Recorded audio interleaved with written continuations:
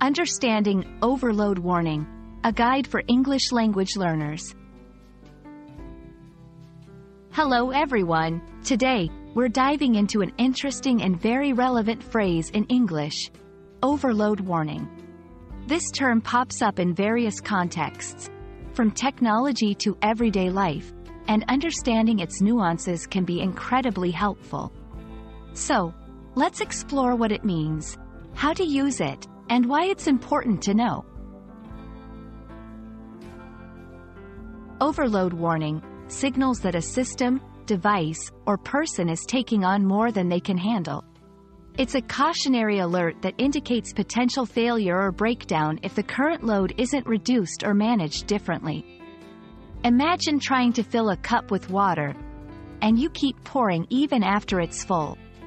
An overload warning is like someone saying, stop pouring, or the water will spill over. Technology. In technology, overload warning might appear on your computer, smartphone, or any electronic device, indicating it's processing more data or running more applications than it can efficiently handle. It's a sign to close some programs or lighten the digital load to prevent crashes or damage. Work and life. In a work or life context, it can be a metaphorical way of indicating that someone is taking on too many tasks, responsibilities, or emotional burdens. It's a reminder to delegate, prioritize, or take a break to avoid burnout. Safety and engineering. In engineering or safety contexts, an overload warning alerts operators or users that a machine, bridge, or structure is bearing weight or stress beyond safe limits.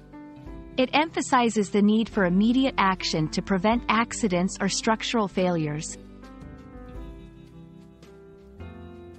Understanding this phrase is crucial because it helps you recognize limits, whether in devices, structures, or yourself.